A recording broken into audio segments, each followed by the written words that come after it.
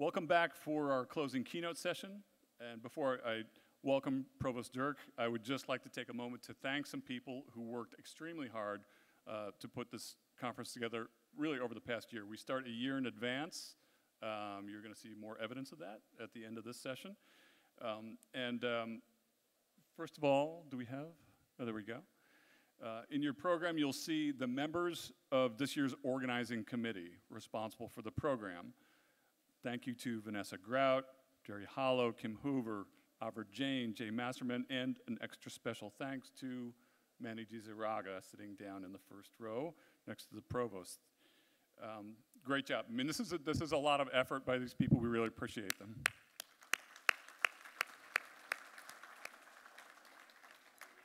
Not in your program, I think I have control. There we go. Not in your program is a big group, a much bigger group of UMT members, including all of the people you see listed on here. I, originally, I was going to go through all the names. I realized I don't have quite that much time. But these are team members from the School of Architecture, from the School of Business, from the law school, uh, from facilities, uh, from you know all of the people who helped us figure out parking for today. Um, we had like 30 meetings on parking, I think. Um, anyway, we hope that you've had a good experience. Did you have a good experience today?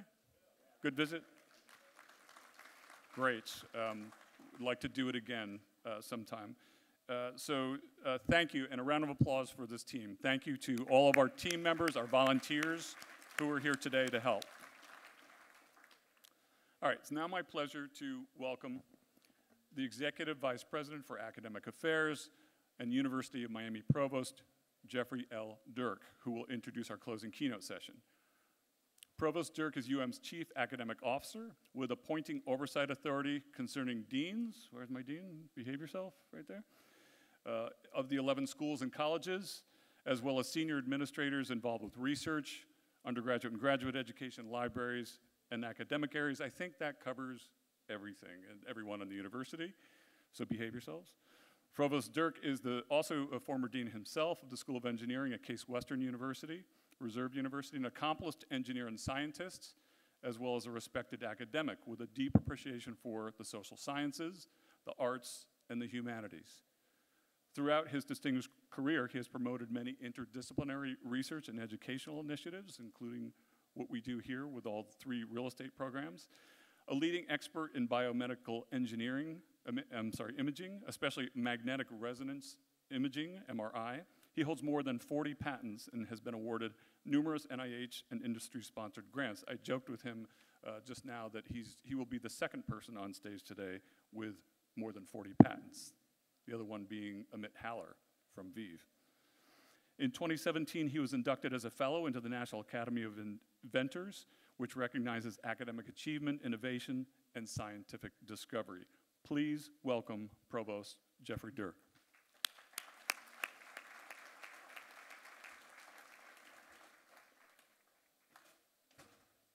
You don't know how much it means to a provost to get a round of applause, so thank you very much. And thanks, Chuck, for the introduction. So today's closing keynote session brings us back to this year's theme of Miami's rapid evolution as a global entrepreneurial and tech-friendly city. At UM, we're not only happy to be hosting all of you today, to be, but also to be part of that revolution. Now, the COVID-19 pandemic accelerated the pace of change and triggered reconstruction uh, of how we conduct virtually every aspect of our daily lives. The pandemic challenged us and challenged our longstanding assumptions and required rapid adaptation of businesses, municipalities, and even universities. And it fueled a wave of rethinking and innovation in every sector of the real estate industry. Our keynote speakers include Sandeep Mathrani, the CEO of WeWorks, a path-breaking company that anticipated the evolution of work that's now accelerated by the uh, pandemic. And Arnaud Karsenti, the managing principal of 13th Floor Investments, who is, the, who is a front runner of changes in residential and mixed-use communities that respond to how and where we want to live. Sandeep and Arnaud are joined by Francis Suarez, the mayor of the Magic City, the capital of capital, also known as the City of Miami. Mayor Suarez is helping navigate the tremendous opportunities and challenges and changes now shaping our lives and the communities we live in, and we're happy to be working with him and others in this trajectory. Arnaud will lead our discussion this afternoon, and Arnaud, I understand the mayor wanted to start with a discussion of a judo match that you guys had when you were about nine years old. So let's start with that topic and see where the conversation goes. Gentlemen, please come up. Thank you.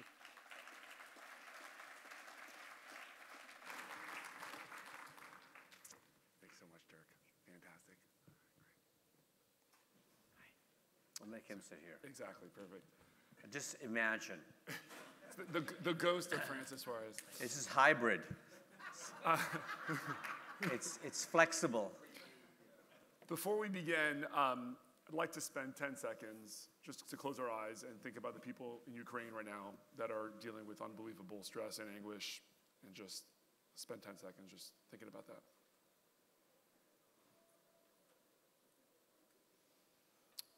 Okay, thank you for that. Um, it's a pleasure to be here. A very, very exciting day. It's been great so far, and it's uh, really a pleasure and an honor for me to moderate uh, this last keynote. Um, I, first of all, I, let me tell you wh- what's not going to happen. I, I'm not Marcelo Claure. Um, I'm Arnaud Karsenti, which is similar but less good looking and successful. Um, but I do have with me Sandeep Mathrani, um, who is good looking and successful. And, uh, and I'm going to be joined jo- shortly by, uh, by Francis, uh, uh, by Mayor Suarez, who's going to join us momentarily. So um, I've gotten to know Sandeep recently, and um, he, he's basically a turnaround artist. Uh, said this WeWork represents the third of several uh, large turnaround stories that he's been part of, and it's really we're going to hear some incredible insights, not just on WeWork the company and on the state of, of its effect on Miami, but also some phenomenal nuggets on how to manage your career, how to manage your life, and what it means to be at various stages of, of, of, of your life. Um, so, Sandeep, let's start with this. Two years ago, the world changed, um, as we've all heard and all discussed. We witnessed uh, what was an unprecedented pandemic that pretty much questioned the way we all live, the way we work, um, no pun intended, and the way we, we behave. Um, you took over WeWork, which in of itself was a, in, a, in a state of massive transition and had been in the public eye. Um, how, what was going through your mind at the time? So, you know, it actually goes back to uh, October of 2019, um, and there was an implosion of WeWork, as we all know. And, um, and on the outside, I've been a landlord my whole life, and we looked at this company uh, and we couldn't figure out the valuation, but we liked the concept. And I, and I joked with, you know, now my fiance Liz, and I said, uh, um, you know, uh, I'd love to be CEO of WeWork. So never wish. Sometimes your wishes come true. Be careful what you wish for. Be careful what you wish for. But that is true, you know. And so when in uh, in in, ja- in January, when I was uh, uh, and I, I got the opportunity to become CEO of WeWork, I did it for four three reasons really. Um, WeWork is an amazing brand. I mean, the brand is, Uh, you know, it, it, it, it's, it's got more popularity than Amex, as an example, right? It's got a 61% NPS and Amex has 51% or something like that. So it's a very popular brand. So when you think about co-working, you think about Flex, the first name you think about, hey, let's go to WeWork. It's, it's not you, it's him. We like the hologram of you, by the way. we like that you were virtual for a long time. Someone, someone, I don't know if this is on, but someone said it didn't look muscular enough. You want to turn it on? Where's, Uh, where's- it's on, Oh, but it I, on. I, it's Perfect. got to be on. It's on. Don't worry, guys. We've already introduced you. We've already covered childhood friendship with the judo matches. We've done it all. We so- heard that you lost. Exactly. No, the no, way- no. Everyone knows Arnaud as the judo guy. Like I'm walking in, my body man is like, "Isn't that the guy you do judo with?" I'm like, okay, yes. So good.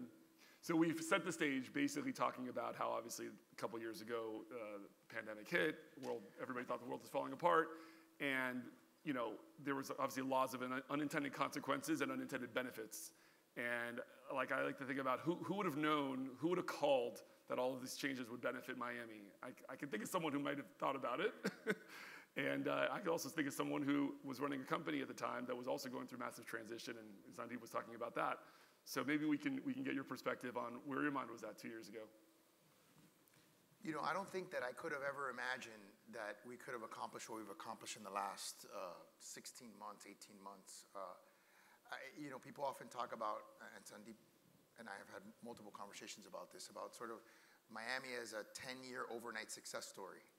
You know, it, it, and so many companies are like that. Everybody, uh, there's a saying in, in, the churches that they see the glory, but they don't know the real story, right? They think that uh, when you're successful, it just sort of happened. And really uh, this Miami moment that we've sort of converted into a movement was very intentional, very comprehensive, and there were many people that were involved.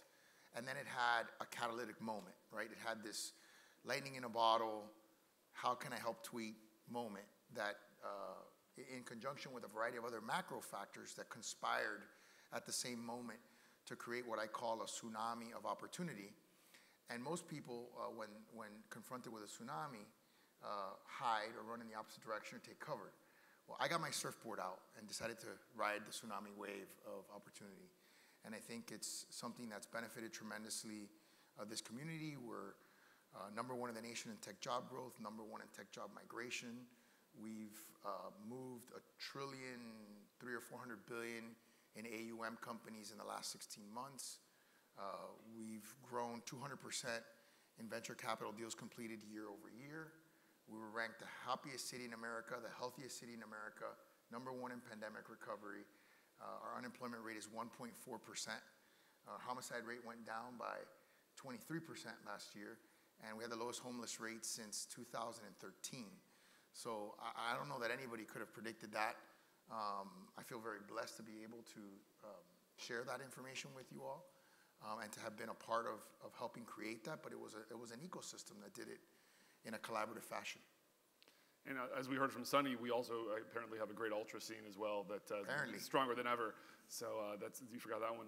But sure. um, if you, you, think about what was it about Miami that would, and maybe Sandy, would be good to get your perspective first. What is it truly about Miami that would that would create such a catalyst and, and attract so much so many people, so much wealth, so many businesses in such a short period of time and with so much momentum. I mean, that, that's really the, the feeling that we, we almost as, as, as natives don't understand because never before have we seen so much of this almost like a snowball effect so quickly. What do you think about it? I think it's multiple factors, and I, you know, uh, and I would say this even if the mayor wasn't here. I think it's to create a great political environment.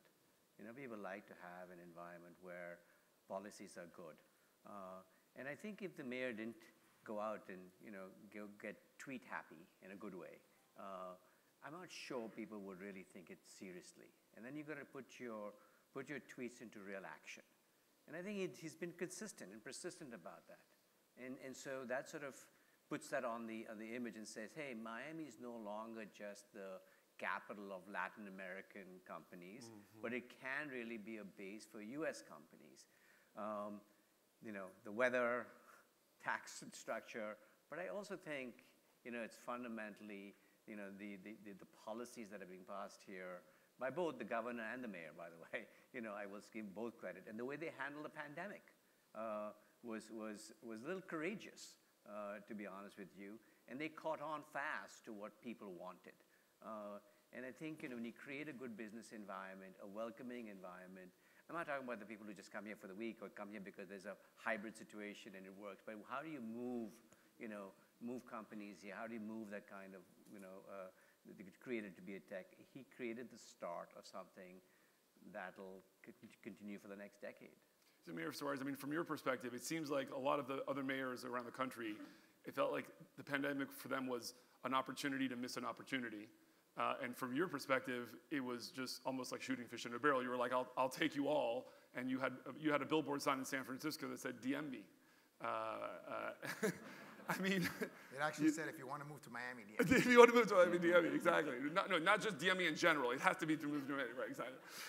And so, you know, being in the moment, and I remember watching the Facebook videos of you, uh, because you, you were one of the first people that had COVID at the time, and you walked us through literally the hour by hour, play by play, which was in of itself very, very bold, bold in a, gesture. Um, I mean, how, how were you thinking about, about, about seizing that opportunity? Again, I mean, I think, you know, we, uh, we as a community, I say we as a community, um, about 10, 12 years ago, decided that if we really wanted to be competitive, uh, we had to have a thriving tech ecosystem. Now, it's easy to say, right? Um, very hard to do. And I think uh, there are many people, um, I was one of them, but there were many people that really felt that we needed this sort of ecosystem. So we started building it kind of the way you build a company, and basically bootstrapped. I mean, there wasn't major investors in this endeavor. Uh, you know, you had uh, uh, the Knight Foundation and Matt Haggman. You had uh, Manny Medina, who had just sold Terremark uh, and had launched Emerge Americas. You had Nitin over at the DDA, um, who had been an evangelist. And then, uh, you know, you had certain macro things that happened, right? You had the, the salt deduction going away. That made uh, areas of this country that were relatively more expensive than Miami, uh, even more expensive, an additional 13, 14% depending on the city. Then you had this sort of anti-innovation sentiment where you had a, a councilwoman in San Francisco saying, F Elon Musk, and him responding, message received, and moving to Austin. Right? Don't DM me. yeah, yeah, don't DM me. And, and, and in New York, when Amazon chose New York, which I was surprised, frankly, that they were chosen as, as uh, you know, as, as their, their, one of the prize-winning cities for, for headquarter two, 50,000 high-paying jobs. And New York said, no thanks. You know, I mean, that is, you know, the craziest thing from my perspective, having been uh, raised by parents that were born uh, exiled from their country of birth, uh, communist Cuba. I just couldn't imagine uh, living uh, in a country, uh, in a city that wouldn't invite that kind of, you know, that kind of innovation. And then, and then, and then you had evangelists, so many of them. But one of them was Marcelo, um, who was the one that introduced me to Sandeep. And, uh, you know, Marcelo came in right at the beginning and said, I believe in you. I believe in what you're doing.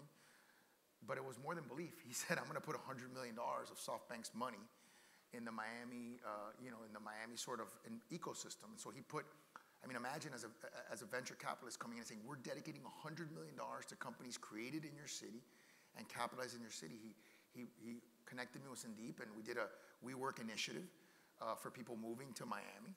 Uh, so we had multiple people, but, you know, to Sandeep's point, there had to be a, a, a, a, focal point, a person who sort of channeled it all and who was sort of the receptacle of it. And I think creating the Cafecito Tech Talks was important for, for me and for the city because it, it helped us build that narrative. And I realized and I learned during COVID when I was doing the videos that people are actually watching, you know, that they actually are interested in, in different content. And, uh, and so that, that's what inspired me to do the Cafecito Tech Talks, which I think we've done over 200 of them and had, you know, thousands and thousands of views. So first of all, I believe in Miami too, and uh, I'm working on the 100 million. It's coming, but you know, yeah. just I'm good for it. Um, actually, he ended up being, it ended up being 250. Oh, so he started at 100, and he actually ended up doing 250. So let, us shift over to thinking about technology. Um, let's think about the workplace for a second. And you know, usually you think about where you work, where you live, as a re relatively similar thing. But this pandemic has somewhat decoupled uh, the living and working in, in, in arrangement. A, a, lot having to do with Zoom and technology, but a lot also having to do with the prioritization of where people want to spend their time. WeWork seems to really fill an interesting gap in this model, and it's interesting whether or not it is a temporary gap or is it a mode of life that's here to stay. What's your view on that, Sandeep? Um, I, will go on to sit back and say that, you know, the cities where people move to, I think you know, you listen to the one story. I moved to Salt Lake City and I'm in Deer Valley and I'm working. Yeah, those are five people. But let's talk about, you know, where people are actually moving at scale, right? And we'll talk about WeWork in a second, is that people like cities. And when, when, when even if they left to New York, okay, they moved to Atlanta, they moved to Miami, they moved to Charlotte, they moved to Austin, they moved to Durham. They didn't move to, you know, uh, you know, Schenectady, New York, or uh, you know, Manhasset, Long Island, or Bridgewater, New Jersey. You know, they actually moved to actual cities, and there's a reason for that. Because still people surround themselves and live around cities. Mm-hmm. So the migration happened, that was already happening, and it was happening for a very different reason. It was happening for the reason where you chase talent. People have now confused the issue, but these companies, the Googles, the the, the Amazons, the, the, you know, the, uh, the, the Facebooks, they're chasing talent. So they're going to towns that have, you know, great universities that produce great people. That's why if you look at the city, why do you think the Bay Area took off? Why do you think Boston took off? It took off because it had great universities. It wasn't, it wasn't an accident. You had good crop of people coming out of universities. And so now what's happened is this migration actually was all about chasing talent. So the aspect of where WeWork comes in, and I would sit back and say WeWork was created, you know, for this environment, because no one wants permanency. They want flexibility. They want a turnkey solution. They want it now. And I always give this funny story. When I was young, we would all have tailor-made clothes in India when I was 10 years old. And then there was a store that had ready-made garments. And the guy says, we said, oh, the ready-made garment guy's never gonna, never gonna win. He's gonna lose, right? And what happened? The bespoke tailor lost and the ready-made garment won. We're ready-made office, mm-hmm. right? We're office in the cloud. So, so what people want is optimization of real estate. And we're perfect for new cities. Like, you know, I will sit back and say almost every tenant that has exploded in Miami first opened in a WeWork. It's true. Almost every, I'd agree with that. at scale. So, for instance, how do you how do you see that from your perspective? How do you use the WeWork example as a lure for for even more businesses to come into Miami? How do you create that positive feedback loop? Well, I think, I think Sandeep is right. I mean, uh, most people who come to Miami don't come signing a 10-year lease, Right. right? They come uh, dipping their toe in the water, if you will. Um, They're feeling the temperature, uh, determining whether or not there is in fact critical mass, which I think people are surprised at what kind of critical mass there is here. Uh, When you, when you see the AUM numbers, I think that gives you some, some concept, and the VC numbers, that gives you some sense of it. But the world is changing so rapidly, it's so disruptive, and the nature of where you work is probably one of the biggest disruptions, right? So, you know, someone was asking me today about traffic, and I think traffic is also disrupted by where you work. So there's all these second order uh, dis- disruptions.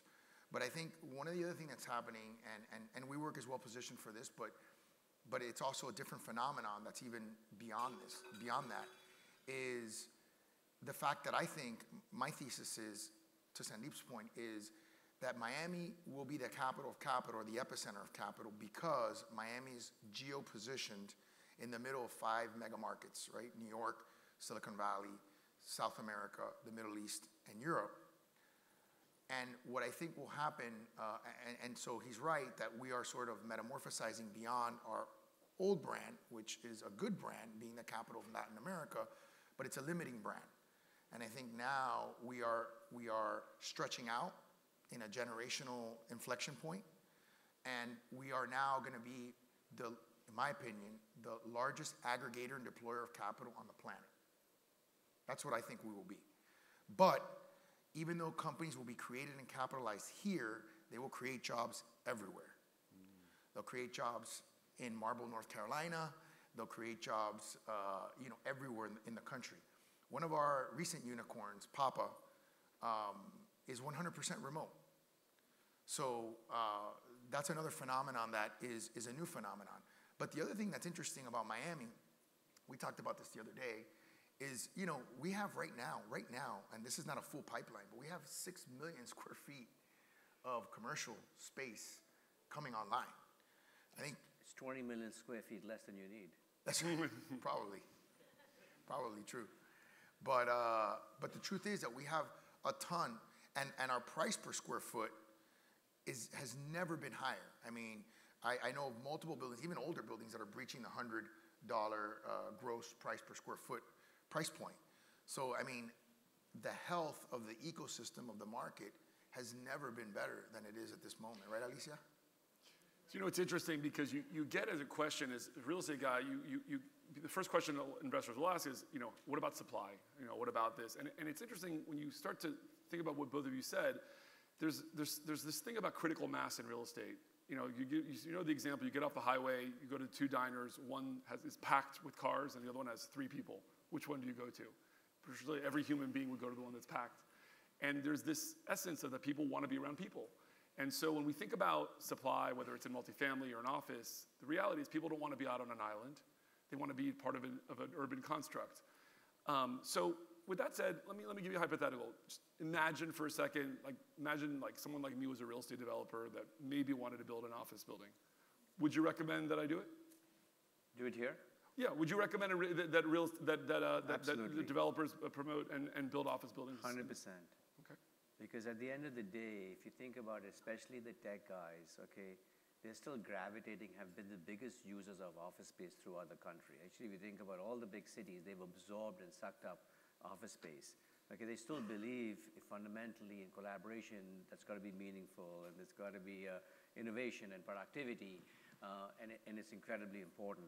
So I actually, I'm not, I wasn't kidding when I said if I looked at Miami, and I've had this conversation with you and with you, Arnav, you know, is that the, what's missing here is we don't have big footprint buildings. Okay, so if you really want to attract tech to the next level and you want to bring Google here for 500,000 square feet, where's a 10 story, 50,000 square feet footprint building? It doesn't exist, mm-hmm. right? I know there's a handful under construction, but what the, you know, what the mayor has done is he's set the foundation. You need to now grow it for the next eight to 10 years, whether it be infrastructure, schools, fire, police, all the above. But you don't even have, you know, and, and in a funny way, when the rents get this high, it's a negative, not a positive. You can, get, you can scare people away. What you don't want to do is say, let's me go to Charlotte, North Carolina for 30 bucks a foot, because some person's going to sit back and say, you know, that's a big difference. Yeah. Okay? And so I would sit back and say, I'm about one to of have the. a panic attack. So one of the, no, but one of the advantages, think about it, of Miami was the rents were 55, 60 bucks a foot. It was reasonable. Yeah. Okay? So now what, so now we need to increase the supply so the, actually the pricing doesn't go out of hand. Well, let, let me just say, if I may, two things. One of them is, I do agree with uh, the central premise of his prior comments, which is there is a renaissance to the urban, urban environment, right? I mean, cities are becoming these uh, aggregations of talent and capital, et cetera.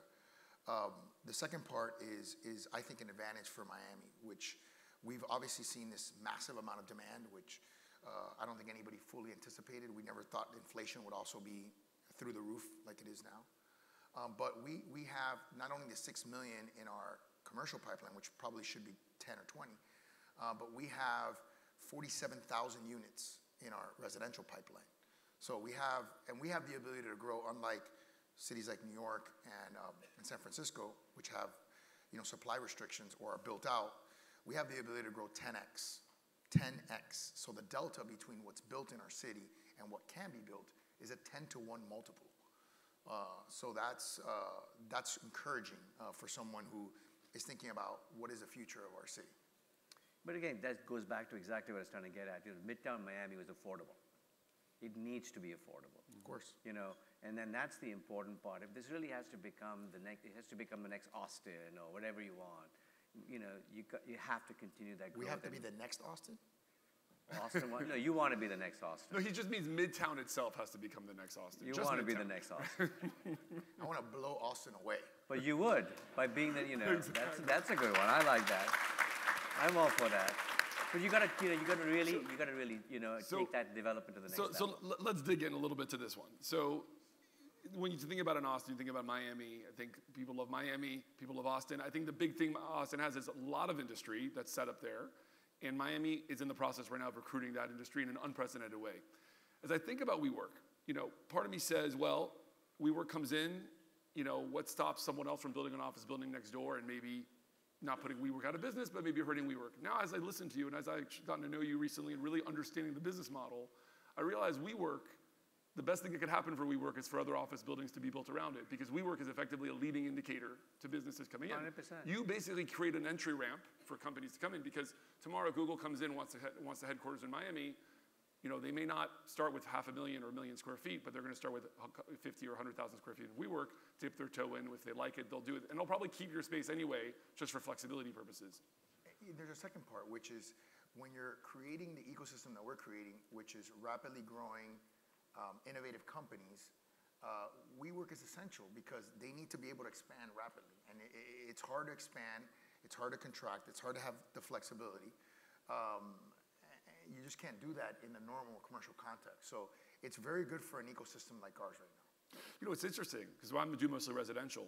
And, you know, when you do these amenities, in the past you would put these business centers together and it was basically a ghost town. It was like a little card room that no one would use and you just would check the box. Today, these business centers are packed, they're jammed, and so they want more and more business centers. And so in some of the buildings we're doing, instead of doing 1,000 feet, it's 5,000 feet, in some cases 10,000, 20,000 feet.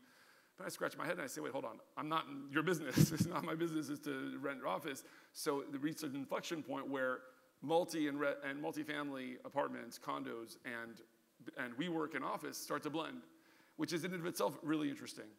And, and, and so it's interesting how this kind of co-working, co-living uh, concepts are all, are all blending together. How do you think about that, Sandeep, as you guys look to sign more, more leases, enter new markets with different products?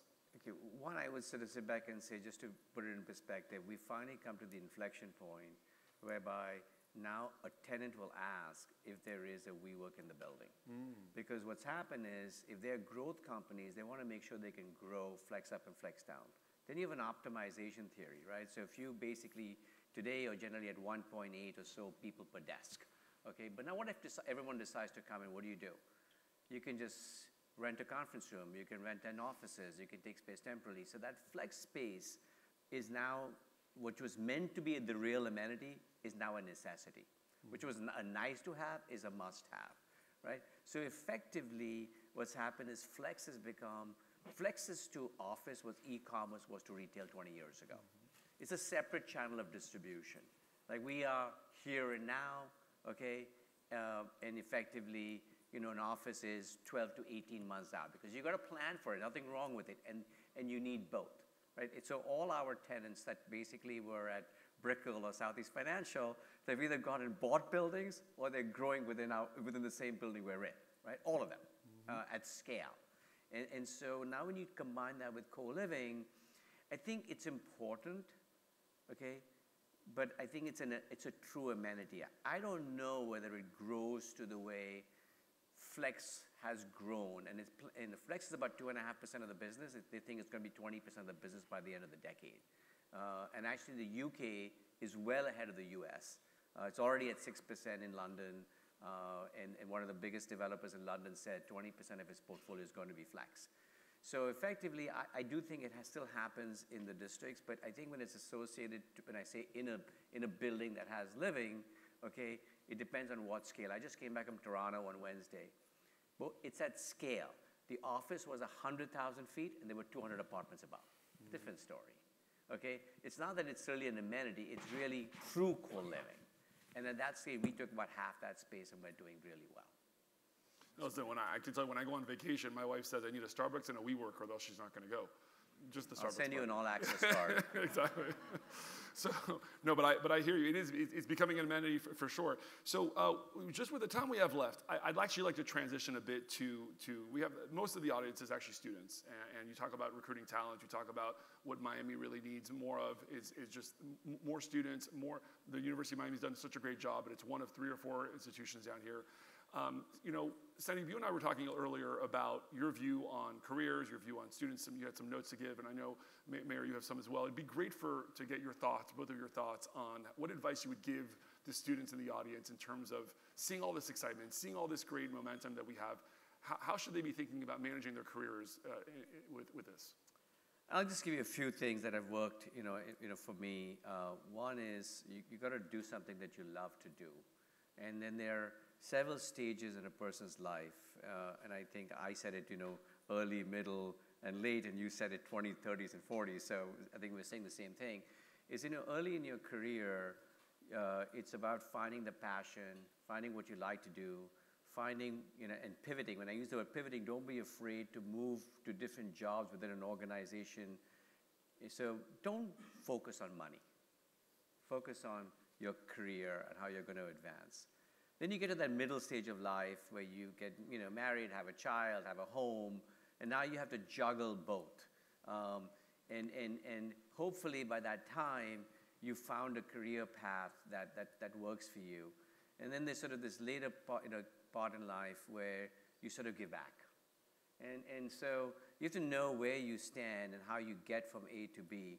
And I will say, like I was an engineer, uh, still an engineer, never stopped being one, but and I, and I got into real estate in a very interesting way, and I'm not going to bore you with the story. But when I got into real estate, I got in as an engineer.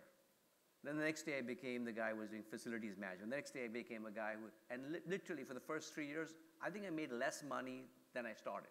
Because every job I took was actually paying you less because I, I didn't have my head on right, right? I was, and I was happy for that because when I finished, I said, you know, I want to lead a company. And I had the ingredients. I had had the experiences. I'd done it myself. I rolled up my sleeve. And I think people forget that, and we get stuck in our, in our, uh, you know, in, in a, you know, i- in a certain path, and you can't deviate from that path. So my only advice to kids is just uh, know where you are in that career path, and don't be afraid to try. So the takeaway there is uh, for all the students is to do what you love. Don't worry about the money, even if you have to work for free. So anybody here wants to come and work for 13th floor, by all means, it's fine. No problem. We, you know, pay very well free. Uh, uh, but no, it's, in all seriousness, i i it's true, right? People can, are always thinking about the end goal, that they lose sight of the, of, the, of, the, of the passage to get there, the journey itself. And the journey is actually the most fun part to begin with. Uh, Mayor Suarez, what do you think? I don't remember in judo you being this funny. It's because I was on the mat. That's right, that's right. Underneath your foot. So what I think is, is I- I'll, I'll sort of play off a little bit of what Sandeep said, which is eh, there's a difference between money and value, right? Sometimes something that pays less is creating more value for you. And so it ends up having a good ROI, right? Uh, off, honestly, working in government, I'm not like pitching my office, but working in government, It's free. Yeah, it creates a lot of value. So I've, I've had many employees in the history of my 12 years of public service that have taken pay cuts to work with me, left, and made 4x, 5x, 10x what they were making with me uh, working in a private company with a tremendous amount of experience, understanding that they also were mission driven, right? And I think a lot of organizations, small companies, big companies, are mission driven. Right, and I think that when you're working in government or when you're working in a value-based environment as opposed to a financial environment, you're focusing on the mission, you're focusing on the goal. You're not focusing so much on your specific ROI, but you're creating a lot of ROI for yourself. So that would be lesson number one. Lesson number two is is is embrace the disruption. Right? We are living in a disruptive world, and the rate of disruption is going to grow continually and exponentially. And I think. Uh, sometimes our educational institutions do a good job, sometimes they don't do as good of a job at, at uh, preparing you for that disruption. But understand that whether you're prepared in the, in the educational sense or not, it's coming. So what, what do I, what, how do I sort of unpack that a little bit? One is, I actually think Sandeep's background is a great one, which is engineering, right? Because it gives you a trim, and there's Alice is back there is looking at me like, yeah, I'm an engineer too. You know, my dad's an engineer, my sister's an engineer. Um, engineering is important because it's, it's at, at its core, it's a problem-solving, uh, uh, you know, discipline. Uh, finance uh, as well. But then understanding that the, even though some of the harder uh, skills are needed, the softer skills are also needed: sales, marketing. You know what I mean? So we we had a recently a um, a job fair where we had 2,400 high-paying jobs available, and we only had 350 people that came, right? And and and I, as I contemplated, well, where were the other 1,900? You know, um, I realized that maybe some of them were intimidated and thought these are only tech jobs. And the truth is that a tech company like WeWork, uh, which every company nowadays is essentially a tech company, even a real estate company has become like a tech company. They need all kinds of services. They don't only need hard, you know, uh, computer engineers. They need, you know, marketing people and salespeople and accountants and lawyers, and they, they, they, that's how you create a company that can, that can execute on a vision, which is essentially what the CEO is charged with doing. That's very insightful. You know, it's interesting. The, the head of our kids' school has a saying that she's tasked with the job of training, uh, of educating kids for jobs that don't yet exist in the future. They don't, that don't, that are not created. We don't even know what they're going to be. And yet you have to form people now. Uh, and I think we're right now in the middle of an enormous amount of change and, and disruption. Um, I, I, I'd like to just add my, my perspective on this is that um, th- there's no greater return than on people at the end of the day. You know, buildings, technology, uh, you know, uh, new, new, disruptions, finance.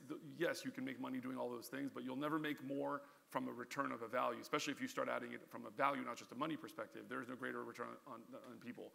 Um, and so I hope that the audience realizes that, and especially the students who, are- who are thinking about their next move. It's more about who you're working with, you know, who you're surrounding yourself with, um, and, and the kinds of how you can learn from others. I've learned a lot today. I hope you have as well. It's been an incredible honor to have both of you up here. It's been awesome, and let's all enjoy stuff.